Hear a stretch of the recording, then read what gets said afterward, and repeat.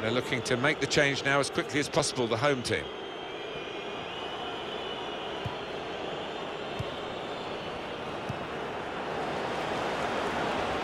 Going to try it. And they have scored. And they do lead now by two. And they've worked very hard for this.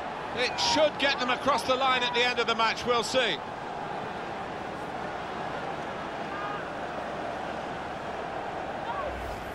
In terms of shots, there is a real gap between these two sides, reflected in the recent goal.